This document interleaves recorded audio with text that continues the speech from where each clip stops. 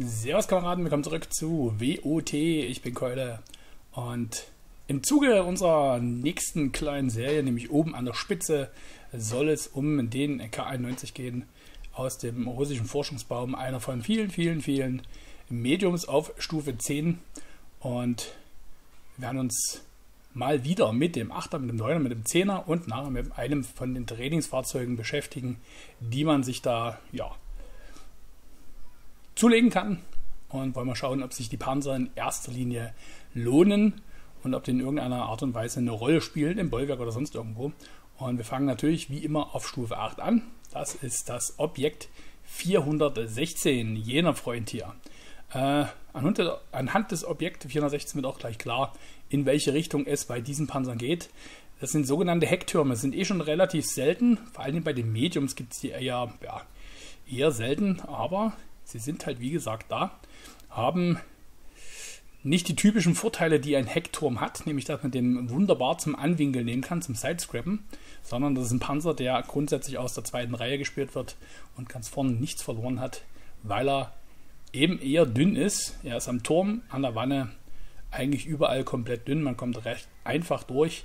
Auch 6er und 7er Panzer haben es nicht so schwer, den Panzer zu erschlagen. Aber der hat eben trotzdem seine Daseinsberechtigung und er hat auch seine, äh, seinen extremen Vorteil und auf den wollen wir als allererstes eingehen, interessiert sowieso den meisten. Das ist bei dem Panzer die Kanone. Wir haben drauf eine Stufe 9 Kanone, 100 mm Wumme mit 201 mm Durchschlag, was nicht besonders ist, aber auf Premium-Munitionen haben wir 330 Durchschlag. Das ist bei allen Mediums auf Stufe 8, egal ob auf dem Forschungsbaum oder aus dem Standard der höchste Durchschlag, den man erreichen kann, 330 mm. Damit kommt ihr absolut durch jeden Panzer auf, durch auf Stufe 8. Ihr könnt fast jeden 9er knacken und die meisten 10er. Es ist ziemlich lustig, damit eine Maus zu bearbeiten, wenn ihr die gewisse ja, Entfernung einhalten könnt, kommt ihr trotzdem bei der Maus durch den Turm. Es ist unheimlich lustig, mit dieser Kanone zu arbeiten. Wir haben eine recht gute DPM von 2503 als Standard und eine Streuung von 0,35, was für eine russische Kanone ganz okay ist. Wir haben im Grunde keine Gun Depression, also die Kanone geht recht wenig nach unten, liegt ganz einfach daran, dass wir vor dem Turm noch den Motor haben und da die Kanone nicht besonders weit runter bekommen. Also dieser Panzer ist russischer, wie es russischer nicht sein gehen kann, äh, wie es russischer nicht geht. Ähm, Kanone mit 3 Grad Gun Depression, mit 15 Grad Gun Elevation eher knapp bemessen. Ähm, Turmdrehwinkel 75 nach links und 75 nach rechts. Das heißt, wir können den Turm nicht komplett einmal drumherum drehen. Das ist, ja, kommt noch oben drauf. Das heißt, wir haben da ein bisschen eingeschränkte äh, Möglichkeiten beim Einsetzen. Wie gesagt, Panzer gehört nach hinten, nicht nach vorn. Wir haben ähm, 1200 Strukturpunkte, das ist nicht besonders viel bei allen Mediums würde ich fast sagen, dass wir da eher am unteren Ende der Nahrungskette rangieren. Sogar noch unter einem Borask, der mit 1250 daherkommt. Wir haben eine Warnpanzerung von 75 frontal, 45 an der Seite. Wie gesagt, da kommt ja fast oder kommt auf jeden Fall jeder durch, der sich da versucht, an euch abzumühen. Wir haben 110 mm Turmpanzerung frontal, ebenfalls recht einfach zu unterschlagen. Ich glaube nicht, dass da viel hängen bleibt.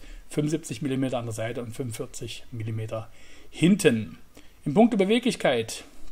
Wir haben ein Leergewicht von 24 Tonnen, voll wiegt er maximal 27. Wir haben 400 PS, das ist nicht besonders viel. 50 km/h vorwärts und 20 km/h rückwärts. Ähm, wird eher gespielt wie in TD. Man fährt einmal eine Feuerstellung, kann eventuell noch ein bisschen die Feuerstellung wechseln. Wie gesagt, viel besonders viel erwarten kann man von der Kiste nicht. Äh, Tarnwert 24,19, wenn er steht. Und wenn er fährt, 14,55, das ist okay. Und wir haben eine Sichtweite von 380 Metern. Das ist, ja, ich würde auf jeden Fall sagen, eher unterdurchschnittlich. Wie gesagt, Heckturm muss man mögen. Die ganze Serie zieht sich als Heckturm dadurch. Also auch der 9er und natürlich auch der 10er sind beide Hecktürme. Und da würde ich auf jeden Fall mich schon mal mit dem Spielstil anfreunden. Es gibt auch einen Medium auf Stufe 8, ein Premium-Fahrzeug, ein Trainingsfahrzeug, wo man das schon mal ein bisschen üben kann. Auf den werden wir auf jeden Fall eingehen, wenn es dann später um das Trainingsfahrzeug geht. Das kommt aber erst nach dem 10er. Ich würde sagen, wir gucken uns mal an, wie der 416 im Gefecht agiert. Und da sehen wir uns auf jeden Fall gleich wieder. Bis gleich. Und da sind wir schon. Wir fahren mit Hapine S vom Clan Wusa im Objekt 416. Da haben wir ihn. Drauf ist natürlich die 100 mm Kanone, 201 mm Durchschlag. Die Geschossgeschwindigkeit mit 895 Meter pro Sekunde nicht besonders flott. Auf Heat genau dieselbe Geschwindigkeit, 330 mm Durchschlag. Wirkt ein bisschen unwirklich, aber ist tatsächlich ernst gemeint. 330 Durchschlag ist schon ein hartes Stück, ein richtig hartes Stück. Ähm, wir sind gelandet auf Siegfried-Linie. Wir fahren in ein Neuner-Gefecht mit 8 Unterstützung. Und wir werden uns hier in die Flanke begeben, denn auf der Flanke, da fühlt sich der Panzer am wohlsten. Ähm, man merkt auf den ersten Schritt, dass er sich eigentlich recht gut anfühlt, dass er recht mobil herüberkommt, aber Topgeschwindigkeit von 50 km/h trotzdem eher so im Mittelfeld, dafür, dass er eigentlich sonst keine richtige Stärke hat. Außer, sagen wir mal, den Durchschlag auf Premium-Munition und eigentlich einer recht guten Kanone im Großen und Ganzen. Ähm, Finde ich auf jeden Fall, dass er da vielleicht ein bisschen mobiler sein könnte. Aber Endgeschwindigkeit ist natürlich nicht alles. Ne? Er macht so einen recht guten Eindruck. Ist halt auch recht leicht, 27 Tonnen. Das ist wirklich nicht die Welt. Deutlich schwerere Mediums. Gerade wenn ich in den deutschen Forschungsbaum schaue. Wird erstmal fleißig äh, Vegetation zurechtgebogen, damit man hier nicht auf die Idee kommt, den Panzer schnellstmöglich aufzumachen, sondern man will natürlich versuchen, das Fahrzeug so gut wie möglich zu tarnen. Das hat auf jeden Fall verdient. So, 3 Grad Gannebüschen, was können wir damit machen? Nichts.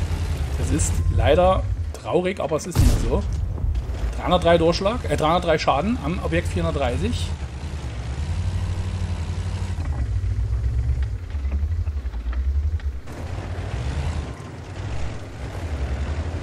sind allein auf weiter Flur, der Rest befindet sich komplett in der Stadt.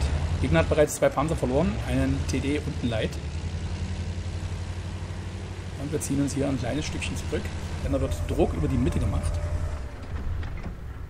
Fährt den taktisch auf jeden Fall hervorragend. Nach Möglichkeit immer außerhalb irgendwelcher Sichtweiten, was nicht so einfach ist. Und hier werden wieder Bäume umgestoßen, es geht nicht anders. Muss es irgendwie in die Richtung machen, ansonsten hat man keine Chance.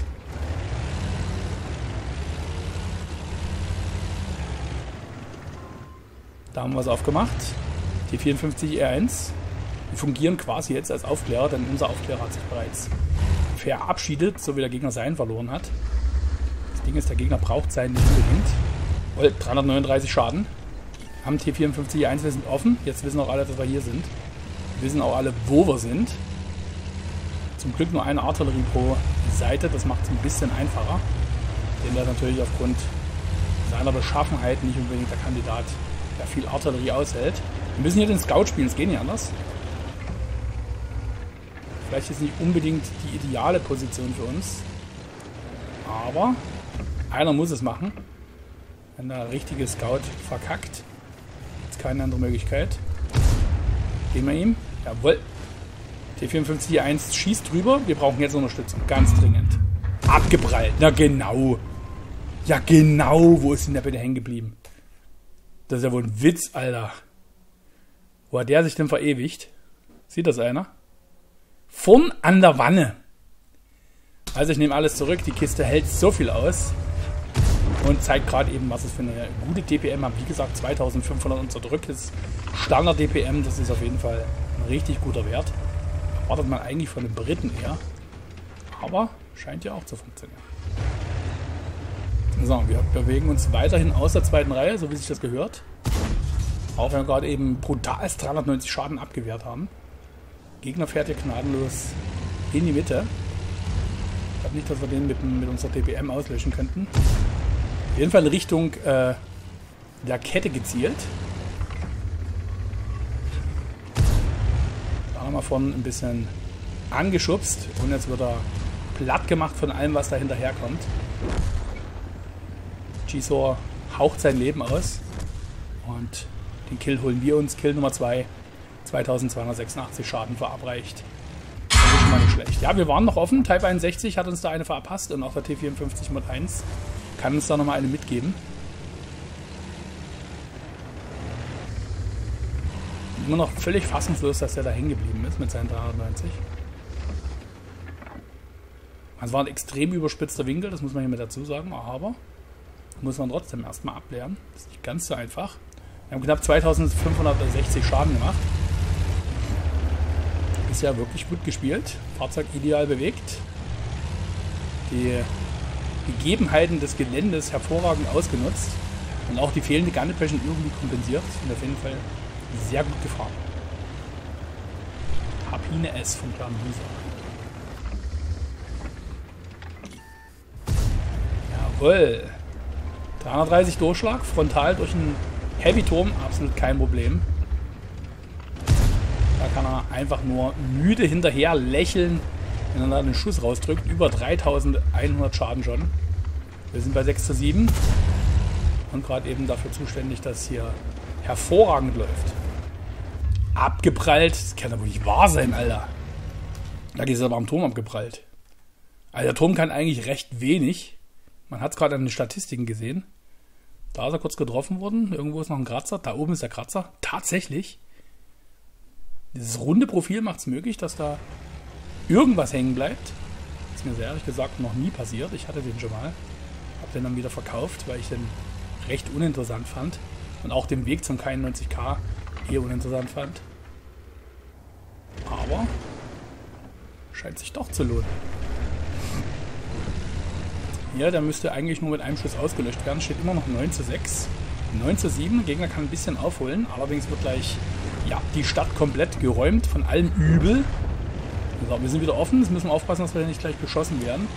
Drüben haben wir einen hübschen TD stehen. Laden um auf Standardmunition. Wie schnell das geht. Schuss geht daneben. Restlichen Gegner befinden sich unten bzw. oben auf der A-Linie. Vielleicht eventuell noch irgendwo die Artillerie hier in dem Bereich. Das wäre noch interessant zu erfahren. Er fährt auch bergauf mal locker über 40, 45 km/h, ist kein Problem. Party jagen will er nicht. Weiß er nicht, woher die kommt. Da ist tatsächlich mehr möglich. Entweder von links oder von rechts.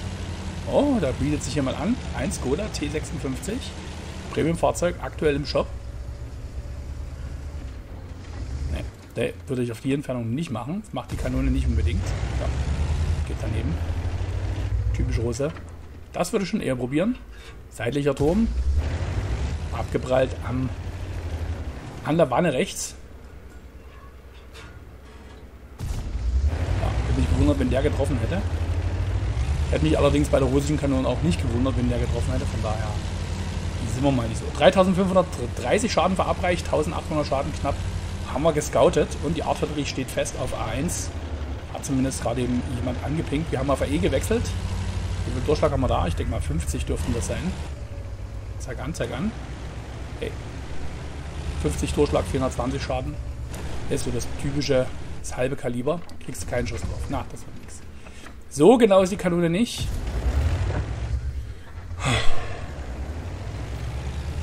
Das ist nicht das erste Mal, dass mir das Spiel wirklich gnadenlos verarscht, die russischen Kanonen. Die haben. Also. Zicke und Diva, es passt da wirklich hervorragend drauf. Okay, den kriegt er wirklich nicht. Zwei Kills gemacht, dass der Schuss angekommen ist, gerade eben absolut undenkbar eigentlich. 3930 Schaden verabreicht, 950 Schaden geblockt, 1766 Schaden haben wir aufgeklärt.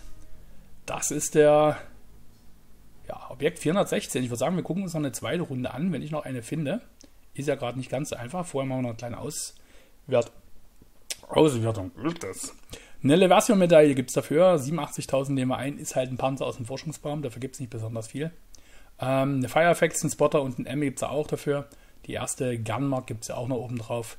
1389 Basics B. Auf jeden Fall ein richtig gutes Gefecht. Mobilität hervorragend ausgenutzt. Auch wenn die absolute Topgeschwindigkeit vielleicht fehlt, für einen so eher leichten Panzer hat er ihn auf jeden Fall recht fein bewegt. Wir haben 45.000 plus gemacht, auch wenn wir ein bisschen Premium geschossen haben. Ähm, ist halt fast jeder Schuss angekommen. 18 Schüsse abgefeuert, 14 getroffen, 13 durchschlagen. Und über 300 Meter haben wir 673 äh, Schaden gemacht. Ebenfalls ein guter Wert. 3 Kilometer auf der Kette in 8 Minuten. Das war ein recht flottes, schnelles, hübsches, kleines Gefecht. Ich würde sagen, Gucken wir uns noch ein zweites an, wenn ich noch eins finde. Und dann entscheiden wir mal, ob das sich tatsächlich lohnen würde oder nicht. Bis gleich. So, da sind wir. Zweite Runde. Wir fahren mit Mr. Ktoi, Ktoln, Mr. C. Totheyu. Okay, wir fahren mit Franz. Machen wir mal Franz nehmen. Fährt Premium Only. Das heißt, hier ist nur Premium-Munition drauf, 330 mm Durchschlag. Eine recht hübsche Tarnung haben wir ebenfalls drauf gemalt. Sehr bunt. Viel grün. Und der Rest ist auch sehr grün. Also grün. So, neuer Gefecht mit 7 und 8 Unterstützung. Und wir sind gelandet auf Bergpass. Schlauchmap. Eigentlich nicht unbedingt die ja, ideale Umgebung für unseren kleinen Freund hier. Aber wenn man denn vernünftig aus der zweiten Reihe spielt, das heißt sich immer um sich zurückzieht und zuschaut, dass die anderen sich die Munition, die Schüsse fressen vom Gegner, dann ist das kein Problem. Wenn man sich mal anguckt, das eher flache, äh, eher flache Struktur vom Fahrzeug sieht echt gut aus. Ist natürlich einfacher, das Fahrzeug hier irgendwo zu verstecken. 0 zu 1 steht, Superhecke ist bereits raus.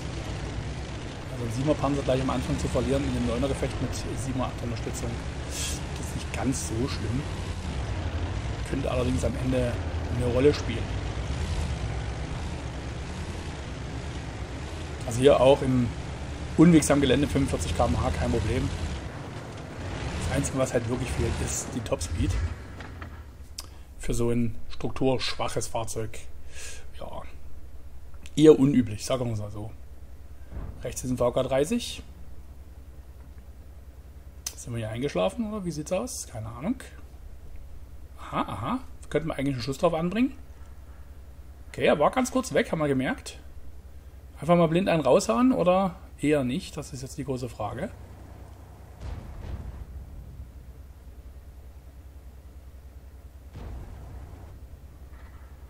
Premium Uni könnte natürlich bedeuten, dass wir hier auf dem Weg zu irgendeiner Gunmark sind oder irgendwas anderes, Größeres vorhaben.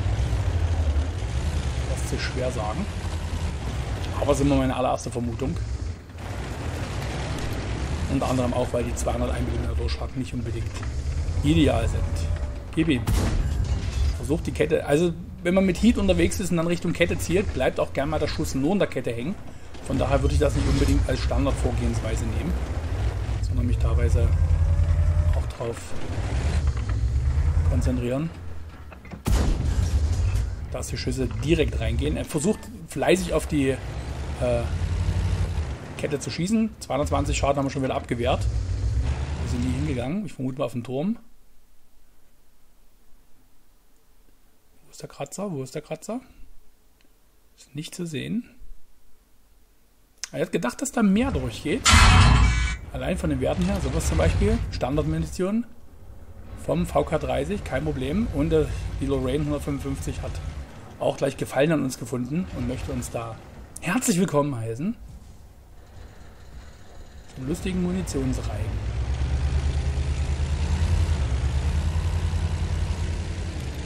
Zieht sich hier wieder zurück. Fühlt sich nicht sicher.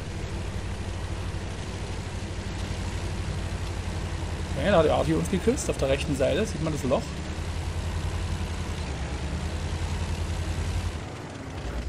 Haben wir eine IS-3. Ne, haben wir nicht. Phase 1. 332 Schaden. Ne. Ein bisschen unsicherer Schütze streckenweise. Und da holen wir uns den VK30, unser erster Kill bei 1186 Schaden. G-Sor in Vorfahrt. Man tatsächlich aufpassen, mit der uns das komplette Magazin drückt, sind wir auf jeden Fall raus. Gilt für einige Autoloader. Giso gehört da dazu.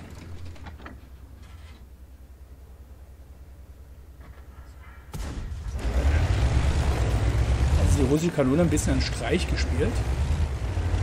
Wir werden gerade von hinten überrollt. Also hinten auf der 8er, 9er, 0er Linie ist gerade eben alles durchgebrochen, was irgendwie noch Ketten hatte ein Caro, ein Progetto und ein WZ 132A. Das sollte man vielleicht mal in Erwägung ziehen, da sich zurückzuziehen. Da haben wir 305 Schaden angebracht. 1491 Schaden insgesamt. Da nochmal 371 Schaden. VK3002D. Und dann werden wir hier, glaube ich, gleich den Rest noch auslöschen. Jawohl. 80 Schaden. Und da haben wir drüben noch irgendwo eine IS-3 herumdümpeln. Müsste normalerweise kein Problem sein, die noch hier aufs Kreuz zu legen. Ich würde trotzdem sagen, dass wir da versuchen, den Rest des Teams, des gegnerischen Teams irgendwie auszuschalten. Da ist ein Skorpion, allerdings nicht ein Skorpion G. Also kein deutscher Panzer, sondern die russische Variante müsste das, glaube ich, sein. Ne, das ist die, die US-Variante. US Unser Skorpion wird sich ebenfalls gleich verabschieden. Ja, da ist er los. Zwei Heavys noch am Leben und unser einer. Der Gegner noch mit beiden Artilleries. Zwei Heavys und ein TD. Zwei Panzer liegen hier zurück. Jetzt wäre eh dabei recht gut. Treffer. Und angezündet auch noch, richtig. Brutzel, Brutzel, so habe ich das gern. Der hat nicht er erkannt, woher der Schuss kam. Karo P88 gibt uns äh, zumindest in unsere Richtung einen Schuss ab. Aber keine Chance für ihn. Er wird sich hier recht sicher zurückziehen, würde ich sagen. Ne. Komplett einzielen, das geht nicht anders. 56 Schaden durch den GW Tiger P. Wir haben 3427 Schaden gemacht. Und jetzt auf unserer Seite ein 777 und ein Objekt 2, äh, Emil 2, die taktisch recht gut stehen und uns hier auf jeden Fall gut unterstützen können. Wir befinden uns allerdings aktuell in einem eher schlechten Umfeld. Wir sind ziemlich offen. Und werden gerade gekappt. Oh je. Oh, oh, oh, oh je. Progetto 66 dürfte komplett nachgeladen haben. Karo P88 dürfte auch nachgeladen haben. Ich glaube, dass wir hier gleich in die Falle reinfahren. Aber wenn wir hier gewinnen wollen, dann müssen wir ein bisschen was leisten. Jawohl, am Turm kein Problem, seitlich macht uns keiner was vor. Wir sind Arti Partyproblem. Denn der kann ja natürlich wunderbar reinhauen. Wir müssen uns verschieben. Wir müssen uns verschieben. Die tut tatsächlich nichts. Ich verstehe es nicht. Wir sind hier offen auf dem Präsentierteller. Trotzdem holzt die Arti nicht auf uns rein. Wir scheinen ja keine Gefahr zu, äh, darzustellen.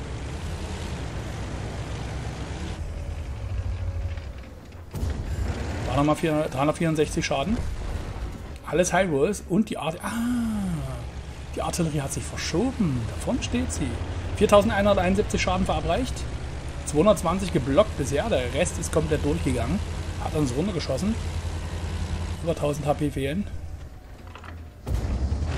Kann jemand drauf schießen? Noch nicht. Okay. Eine Art hier noch übrig. Verfehlt uns, ansonsten wäre mit Sicherheit Feierabend gewesen. Stufe 8. Holzer irgendwo steht da rum. Wir sind natürlich ein One-Shot für die Artillerie.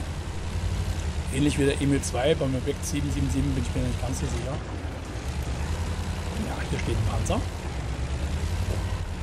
Also bisher eine recht gute Runde gefahren. Hier und da ein bisschen Glück gehabt, dass die Arti ihn da nicht äh, fokussiert hat. Und 4474 Schaden sprechen sowieso für sich. Schon recht feiner Panzer. Gibt's nichts. Also gerade in puncto Beweglichkeit hätte ich eigentlich weniger erwartet. Bis auf dem Topspeed, ja, ist es auch recht wenig. Wenn ihr immer noch Panzer sucht, die ihr bei Frontlines spielt, das jetzt am, ich glaube am Montag anfängt, dann habt ihr hier auf jeden Fall eine Empfehlung von mir. Werk 416 macht auf jeden Fall Sinn. Da ist es ja recht egal, ob ihr da mit dem Heckturm fahrt oder nicht. Schnell muss die Kiste sein, damit das Spaß macht. So, das Objekt fährt über die rechte Seite, der Emil 2 über die linke bzw. linke Mitte und wir sind in der Mitte durchgefahren. Wir uns jetzt hier einen Tod holen oder nicht, das ist die große Frage.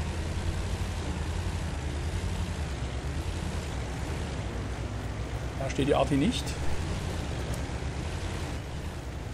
Da steht die Artillerie.